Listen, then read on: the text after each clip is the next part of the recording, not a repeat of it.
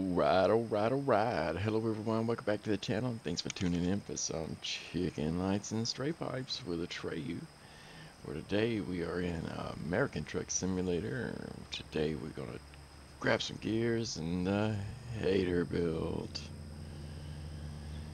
This is uh, my edit of the Viper 389 that I've kept going for a couple years now. We got us a skin on there that was provided by Blunted Games and the old school pack. We got the 24 and a half inch wheel edit on there. And we got Bart's fantastic Great Dane behind her back here with Jasper's wheels on the trailer. We got the lights from the Haterbilt mod, or from the included light pack that I done inside the heater Under the hood today, we are using Slob Jerry's C12 cat engine, 475 horse. Let's fire up.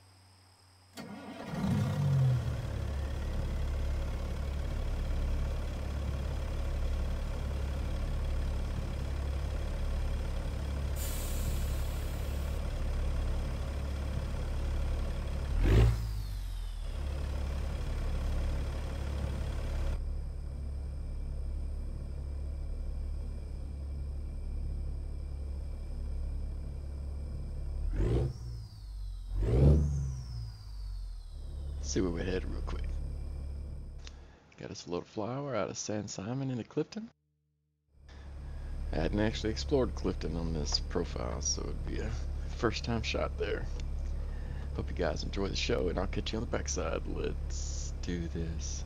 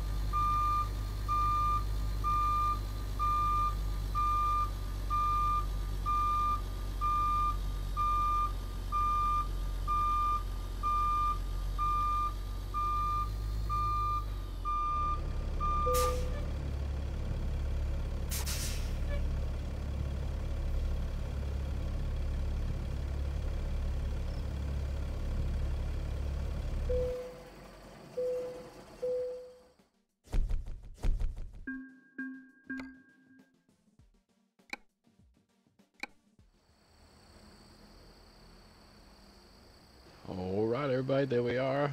I uh, hope you enjoyed the show, and if you did enjoy the show, remember to hit that like button and subscribe if you're not, because I do this daily, and I love to have you along for the ride. If you want to pick up any of these mods for yourself, everything's linked down below in the description of the video. Um, you can't go wrong with uh, Rudis trailers for sure. This trailer pack is just probably the best deal in the game, and uh, some of you guys like Haterbilt. I'm happy that you do. Appreciate every one of you that stick around and flop, stop through every day to, you know, watch me roll through American Truck Simulator. And um, if you want to support the channel beyond just hitting that like and subscribe button, you can find my PayPal and my Patreon down below in the description in the sports section. And until next time, drivers, keep it shiny side up and rubber side down out there. Throw the hammer down. Take care. Yeah.